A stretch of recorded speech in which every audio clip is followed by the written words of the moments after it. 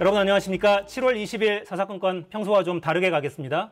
김성환, 김민아 두 평론가 모시고 주요 뉴스로 시작합니다. 자, 두 분 어서 오세요. 네, 안녕하세요. 네, 자 대우조선해양 하청업체 노조 파업 이야기부터 시작하겠습니다.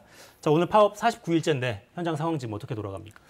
지금 금속노조는 서울 용산 대통령실 그리고 어, 거제 현장 앞에서 이제 집회를 열고 있는 그런 상황인데요. 네. 어, 주최 측 추산으로 이 거제 현장의 경우에는 한 4천여 명 정도가 지금 집회에 참여하고 있다라고 얘기를 하고 있습니다.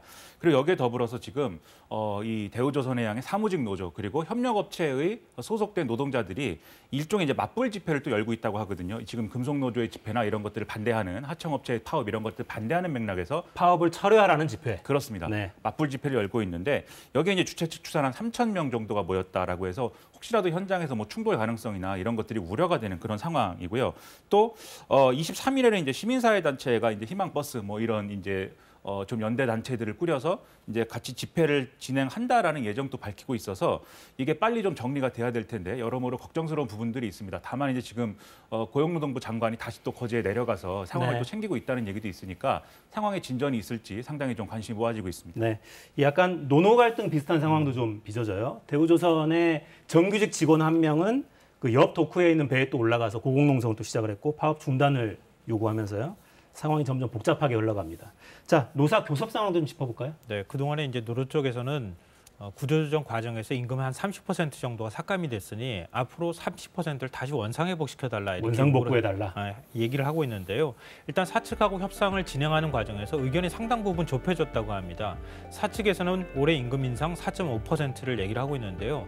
노조 쪽에서는 5%를 얘기하고 있고요. 어, 거의 접근했네요. 예. 그리고 다만 이제 내년에 10%를 대신 올려달라.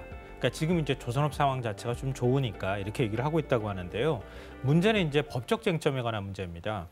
그러니까 그동안에 노조 파업을 하고 난 다음에 업무 방해 혐의에 따른 손해배상 청구 소송, 형사처벌 문제가 항상 문제가 되었거든요. 근데 노조 쪽에서는 부재소 합의를 요구하고 있다고 합니다. 일종의 이제 소송을 제기하지 않겠다고 합의를 해달라 이렇게 얘기를 하고 있는데요. 과거에 이제 노조가 뭐 조선업과 업종에서 노조가 파업을 많이 하기도 했지만 부재소 합의에 대부분 합의를 했었다 그래요. 이번도 그 전례를 따라달라 이렇게 얘기를 하고 있는데 문제는 사용자 측에서 사측에서 정부 눈치를 안 볼 수 없는 상황이 돼버렸다. 지금 대주주가 산업은행인 상황이기도 하잖아요. 정부가 지금 강경대응 기조를 얘기하고 있, 거든요 그러니까 긴급 관계장관 회의 하고 난 다음에 어, 추경호 부총리가 어, 긴, 그 합동 담화문을 발표를 했는데요. 그때 어떻게 발표했냐면은 명백한 법 위반이며 형사처벌과 손해배상 책임을 피할 수 없다. 이렇게 얘기를 했거든요.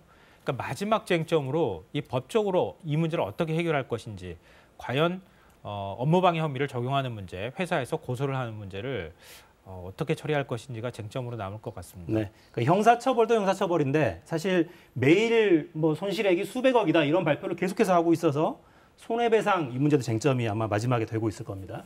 자, 정치권 움직임으로 좀 넘어가 볼까요? 공권력 투입 가능성 강력하게 시사했던 윤 대통령 오늘은 말을 좀 아꼈습니다. 어제 오늘 발언 이어서 들어보시죠. 불법은 방치되거나 용인돼서는 안 됩니다. 그리고 국민이나 어, 정부나 다 많이 기다릴 만큼 기다리지 않았나 그래 생각이 어, 됩니다. 어제 그 기다릴 만큼 기다렸다면서 그 대우 조선해양 사태 관련해서 말씀을 하셨는데요. 그 혹시 경찰력을 포함한 공권력 투입도 좀 고심을 하고 계신 겁니까? 질문이 좀 길다. 짧게 해주시면 좋겠는데 거기에 대해서는 더 답변 안 할게요. 저 이제 답변 태도가 좀 바뀐 거 아니겠어요? 기다릴 만큼 기다리지 않았냐. 이게 이제 언론에서 공권력 투입이 임박했다고 하는 발언이다 이렇게 해석을 했거든요. 일제히 그렇게 해석했죠. 예, 근데 오늘은 언급하지 않겠다 이렇게 얘기를 했거든요. 왜냐하면 어제 발언이 사실은 장관이 했어야 할 발언쯤 되는 거 아니겠습니까? 왜냐하면 법과 원칙을 얘기하거나 아니면 불법 파업으로 규정하는 문제는 대통령이 직접 나서서 어, 규정할 수 있는 성격의 것이 또 아닐 뿐더러 노조가 이렇게 되면은 노사가 협상할 여지가 없어지잖아요. 노조의 굴복을 요구하는 것처럼 비춰지는 측면도 있고요. 더 우려스러운 측면은 만약에 공권력을 투입했다고 해보죠. 그러니까 현재 협상 상황이 더 이상 진척이 없다가 거기에서 불미스러운 사태가 발생했다. 그러면 대통령이 공권력 투입을 지시해서 불미스러운 사태를 만들었다고 하는 그 책임이 대통령한테 가는 거예요. 그렇기 때문에 이런 문제에 있어서 대통령이 직접 언급을 하는 것은 상가해 왔다는 겁니다. 그러니까 그 삼가했던 그 방식에서 완전히 탈피한 이런 방식의 얘기를 했기 때문에 거기에 따르는 우려의 목소리가 대통령한테도 전달이 된 것이 아닌가 이렇게 생각합니다. 네. 자, 여야 입장차도 뭐 뚜렷합니다. 여당에서는 계속 법과 원칙 강조하고 있어요. 어, 뭐 지금 정부가 강경 대응 기조를 얘기하고 있잖아요. 일단 파업 자체를 불법으로 규정한 상황이고요. 앞서 이제 손해배상 문제도 언급하셨지만 사측에서는 지금까지 6,600억 정도의 손해배, 손해를 보고 있다 이렇게 얘기를 하고 있는 상황이거든요.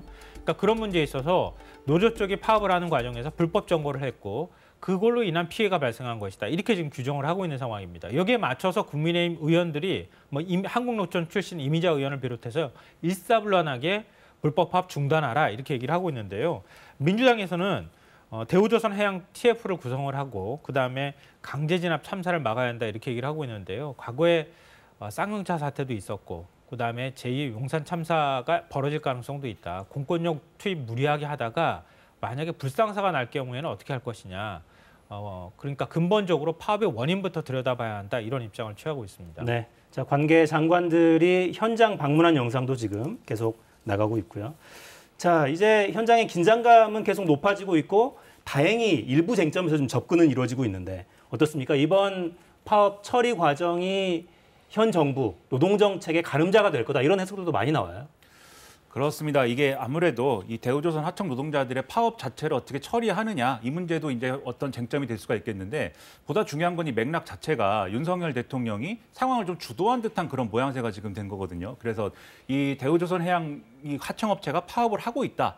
라는 사실 자체를 사실은 잘 몰랐던 국민들도 많이 있었을 텐데 윤석열 대통령이 이제 수석 보좌관회의에서 언급을 하고 그리고 한덕수 총리로부터 직접 보고를 받고 그리고 다시 관계 장관들이 이렇게 회의를 해서 담화문을 발표하고 이 과정을 통해서 아 뭔가 이 파업을 이 정부가 직접적으로 주도하고 있다라는 지금 인식이 좀 생겨 있는 게 사실입니다. 그래서 만약에 이게 어, 앞에 김성환 평론가님 말씀해 주신 것처럼 좀 비극적인 어떤 결말, 파국적인 결말 갈등 유발적인 어떤 그런 상황 이렇게 이어지게 되면 어, 좀 윤석열 정권이 여기에 대해서 좀 어, 이 밀어붙이는 그런 리더십으로 지금 가고 있구나라는 인식을 노동계도 가질 수밖에 없고 앞으로 이제 뭐 이른바 하투 뭐 이런 표현을 들어서 여러 가지로 뭐 파업이나 이런 것들의 일정이 쭉 이어질 수 있는데 다 그런 걸 전제로 해서 아마 노동계도 반응을 할 것이기 때문에 그런 상황은 이제 이 현 정권하고 노동계하고의 어떤 어, 충돌 이런 걸로 계속 진행될 수밖에 없는 거죠. 그러면 아마 사람들의 평가는 윤석열 정권의 노동 정책은 좀 갈등 유발적이고 충돌을 불사하는 그러면서 법과 원칙을 명분으로 해서 밀어붙이는 정책이다.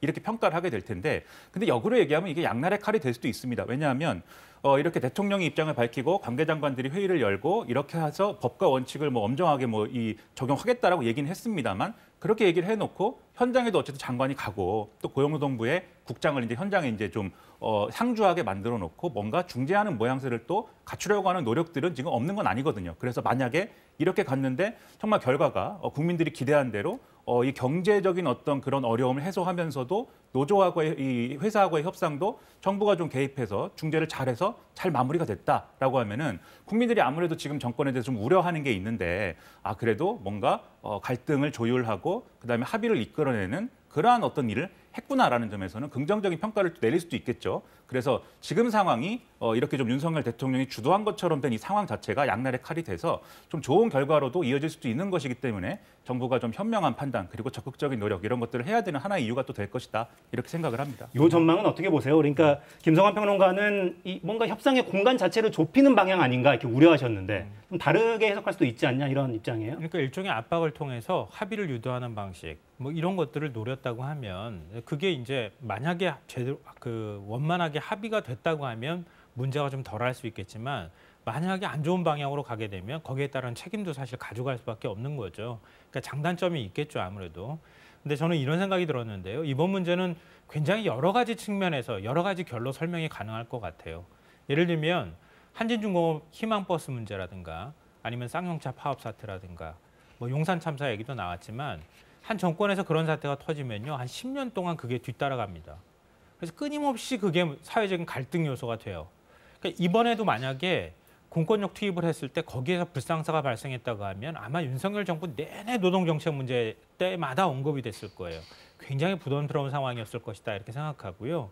또 하나의 측면은 조선업 구조조정이 그동안에 한 10년 가까이 계속 진행돼 왔잖아요. 아니 뭐 좀 짧게 얘기하면은 2015년부터 진행이 돼 왔던 건데요. 이전 정부에서 대우조선해양 같은 경우에는 사실은 5조 원 규모의 분식회계도 있었단 말이에요. 그 이명, 이명박 박근혜 정부 시절에 있었던 거예요. 나중에 그게 드러나서 굉장히 큰 문제가 됐는데요. 그러니까 전체적으로 경영의 구조조정은 됐지만 노동에 있어서의 어떤 변화는 전혀 없었던 거 아니냐. 그러니까 다단계 하청 구조는 그대로 남아 있는 상태였고 정규직과 비정규직의 차별은 여전히 진행되고 있고 이거는 이번 문제를 떠나서 이전에도 이미 지적돼 왔던 거거든요. 그러니까 비정규직의 경우에 지금 하청 노동자들의 경우에는 20년 근무해도 임금이 3천만 원이라는 거예요. 연봉 다 합쳐도. 이전에는 4,300만 원이었는데 3천만 원으로 깎였다는 겁니다. 그러니까 이걸 받아들이기가 쉽겠느냐 과연. 이 노동 구조 자체에 문제가 있는지 없는지 이번 기회에 한번 같이 들여다보는 계기가 됐어야 한다 이렇게 생각합니다. 네. 자 어느 분이 그런 글 쓴 게 쓴 걸 제가 좀 읽었는데, 그러니까 대부분 저임금에 시달리다 못해 일감도 적고 저임금에 시달리다 못해 대부분의 상당수의 그 조선 노동자들이 현장을 떠났다는 거예요. 일감이 들어와도 이제 인력이 부족해서 일을 못하는 지경이 됐는데 지금 싸우는 분들은 어쨌건 일할 수 있는 여건을 만들어 달라고 싸우는 것 아니냐. 이 목소리를 들어주지 않고 조선업 포항을 우리가 맞이할 준비는 되겠느냐. 노동력의 측면에서 봐도 협상의 여지는 있지 않느냐. 그런 글도 제가 읽었습니다. 좀 참고하셨으면 좋겠어요. 자, 주제를 바꾸죠. 오늘 국회에서는 교섭단체 대표 연설 있었습니다. 자, 박홍근 민주당 원내대표 발언 그리고 국민의힘 반응까지 들어보시겠습니다. 윤석열 정부 대통령실은 이른바 검찰 출신 문고리 육상시에 의해 장악되었다는 비판이 제기되고 있습니다. 사적 채용, 측근 불공정 인사 등으로 드러나고 있는 대통령의 권력의 사유화는 반드시 대가를 치르게 됩니다.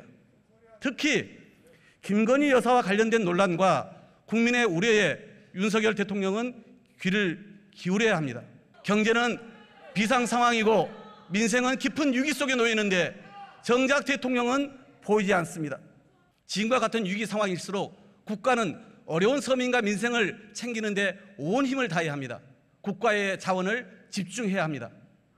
위기를 극복하기 위해서 아, 정부와 함께 하겠다는 그런 의지 표명에 대해서는 아주 긍정적으로 평가를 합니다. 그렇지만은 아, 오늘날의 경제 민생 위기가 지난 5년 동안의 문재인 정부의 경제 정책 실패에서 비롯되었다는 점에 대한 진솔한 인정과 사과가 선행이 되어야 하는데 마치 출범한 지 두 달밖에 되지 않은 윤석열 정부가 현재의 민생 경제 위기 상황을 아, 초래한 것처럼 이렇게 에, 호도하는 것은 그거는 잘못된 태도다라는 것을 분명하게 에, 말씀을 드립니다.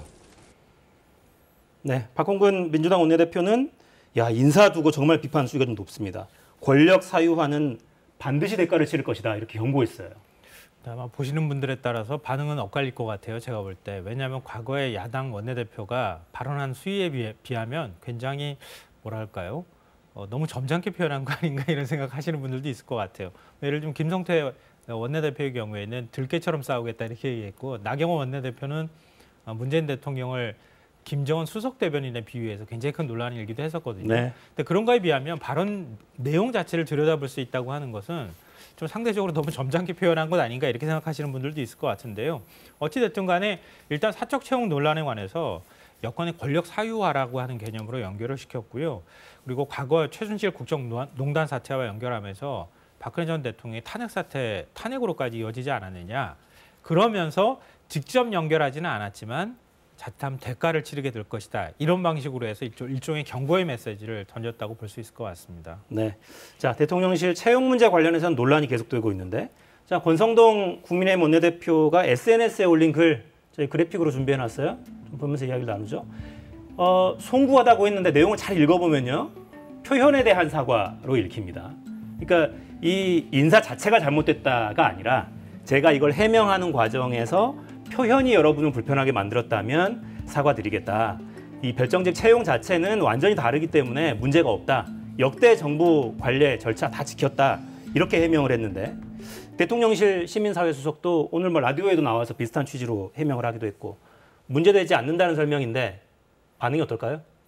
시민사회 수석의 경우에는 뭐 엽관주의를 얘기를 했는데 상당히 이제 오랜만에 듣는 단어죠. 엽관주의라는 건 과거에 교과서에서 좀 본 적이 있는 기억인데 근데 이제 엽관주의라는 얘기를 왜 했을까를 생각해 보면은 이 모든 대통령실의 어떤 뭐 이 직책이라든가 이런 것들에 대해서 이제 공채를 실시하지는 않아 왔고 어 그게 맞다 이렇게 얘기하고 싶은 거죠. 그런데 지금 이게 좀 지금 인사가 문제다라고 지적하는 거의 핵심은 공채를 안 했다가 아니라 어 대통령과 가까운 사람 또는 어떤 종류의 정치인의 추천에 의해서 어떤 사람의 자제분이 그냥 이제 이 채용이 된 것이다라는 거에 대해서 문제를 제기하고 있는 거거든요. 그냥 채용되진 않았다는 게 지금 대통령실 설명이잖아요. 그렇죠. 뭔가 기여를 했고 네. 능력을 보여줬고 이런 설명인데 근데 역으로 얘기해서 과연 그 문제가 된 그 분들의 자제분이 아니었으면 그 능력과 어떤 그런 것들을 어, 평가를 할 수 있었을까 이런 의문들이 커지고 있는 상황이기 때문에 그것에 대한 이제 입장 표명이나 이런 것들을 국민들이 좀 기대하고 바라는 부분이 있을 텐데 전혀 이제 그런 좀 어, 가려운 부분을 긁어주지는 못하는 이런 입장 표명들이기 때문에 저로서는 상당히 아쉽다라는 생각이 들고요.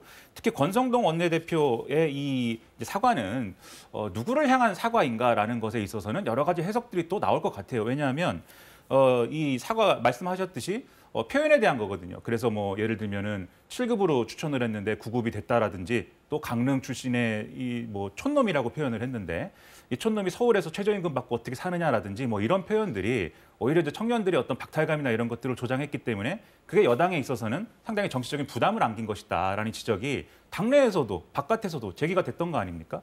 그 점을 사과하는 것으로 보여요. 사실은 권성동 원내대표의 발언은 이 지금 인사 문제에 대해서 이 여러모로 우려를 갖고 있는 그런 아, 목소리들에 대한 사과가 아니라 왜냐하면 이런 이제 당내 당 내외의 권성동 원내대표를 향한 반발이나 이런 것들이 국민의힘이 지금 임시 체제잖아요. 권성동 직무대행의 임시 체제인데 이거 길게 가는 게 가능한 거냐?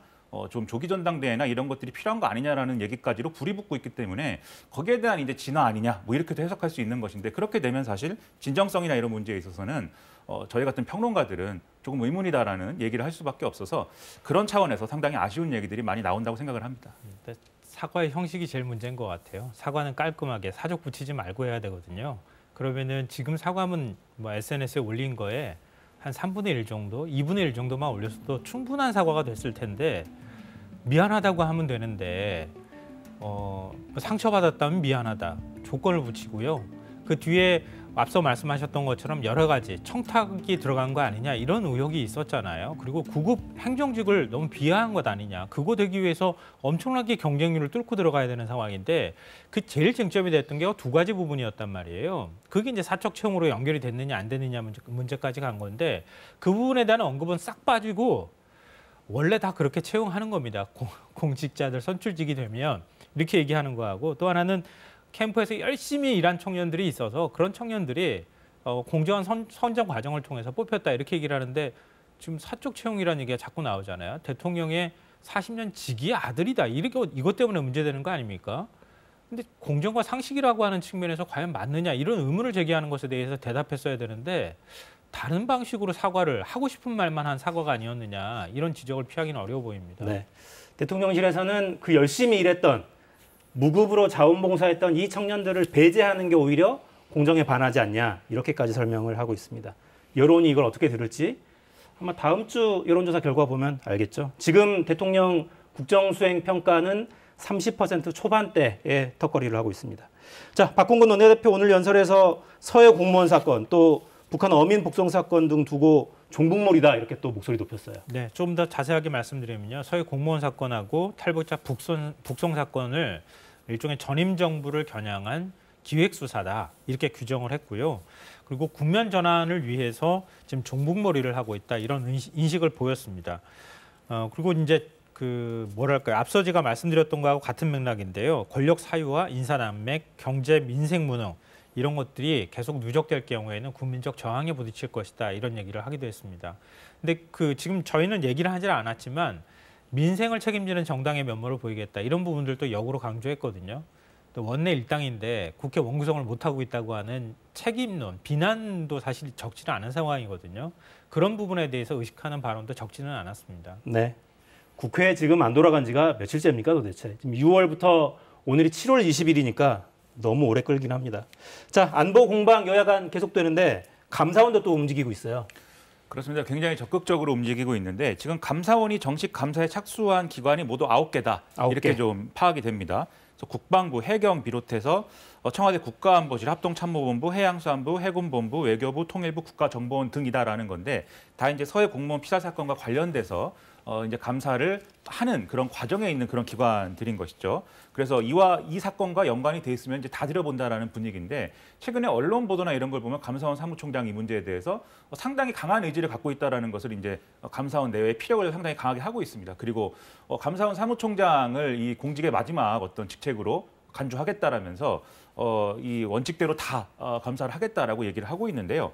어, 그렇다고 한다면 사실 이 부분에 있어서는 여러 가지 평가가 갈리는 점이 또 존재하는 것이죠. 만약에 감사원이 예를 들면 이전 정권처럼 현 정권 살아있는 권력에 대해서도 어, 이렇게 원칙적으로 감사원이 할 일을 다 하는 그러한 모습들을 앞으로 보여주겠다는 어떤 결의의 뭐 결과라고 한다면 어, 그러면 이렇게 감사원이 어, 자기 권력을 충분히 이제 활용을 하면서 엄정한 감사를 하는 것도 중요하다. 이렇게 평가가 될 수 있겠는데 그게 아니라 혹시라도 이러한 감사원의 적극적인 태도가 편향적이다. 그리고 전 정권에 대한 어떤 정치적인 기획이나 이런 것의 한 갈래로 보여진다. 이렇게 평가가 되면 오히려 감사원이 여러 가지 위기에 봉착할 수 있는 그런 어려움도 있을 것이거든요. 그래서 이 문제에 있어서는 감사원이 뭐 어, 정말 원칙대로 엄정하게 감사를 해야 되는 것도 중요하지만 그것은 여러 가지 정치적인 논란, 정파적 이해관계 이런 것하고는 완전히 자유로운 상황에서 이루어질 필요가 있다는 것을 명심하고 진행돼야 할 필요가 있다는 생각이 듭니다. 네. 지금 뭐 정부, 여당, 대통령실까지 안보 문란 이렇게 규정하면서 총력전이란 말이죠. 앞으로 이 흐름이 어떻게 가냐에 따라서 어느 한쪽은 굉장히 정치적으로 어려운 국면으로 몰려갈 수도 있겠어요. 근데 제가 보니까 감사원 직원들 요즘 뭐이 뭐랄까요 손이 모자라 가지고 아주 곤란할 것 같은데요. 제가 알기로는 저기 기관 말고도 다른 기관들의 감사원 감사하고 있는 것이 굉장히 많이 있는 정기 감사도. 많죠. 네. 네. 그러니까 이런, 이런 방식으로 전임 정부를 정부에 대- 관련돼 있던 일들을 먼지털이식으로 이 털어내는 게 과연 맞느냐 그런 것이 좀 바뀌었으면 좋겠다고 하는 바람이 이번에 윤석열 대통령에 대한 지지로 갔다고 저는 생각하거든요. 근데 그런 모습들이 그대로 반복된다거나 아니면은 지금 임기가 남아있는 인사들에 대해서 그만두라 압박을 공개적으로 한다거나 사실 윤석열 대통령이 검찰총장 시절에 그때 직권남용 혐의로 김은경 환경부 장관 어, 결국은 산하 기관장도 물러나게 했다는 이유로 기소 가서 대법원에서 실형까지 선고받았잖아요. 근데 보이는 모습은 그거랑 똑같은 일들이 반복되고 있다는 거예요. 저는 감사원이 일종의 사정 정국을 통해서 하는 것 외에도 다른 곳에 감사를 하고 있다고 하면 그것은 아마 그 기관장 물러나라고 감사하는 성격도 적지는 않다 이렇게 생각합니다. 근데 물론 새로운 정부가 들어섰으니까 새로운 각오로 새로운 바꿔 뭔가 바꿔서 하겠다 이런 취지는 좋겠으나 이런 것들로 어, 허송세월을 계속 보내는 과정에서 민생이나 경제 문제, 국민들 힘들어하는 게 외면당하는 것처럼 비춰지면 대통령 지지율에도 결코 도움이 되지 못한다.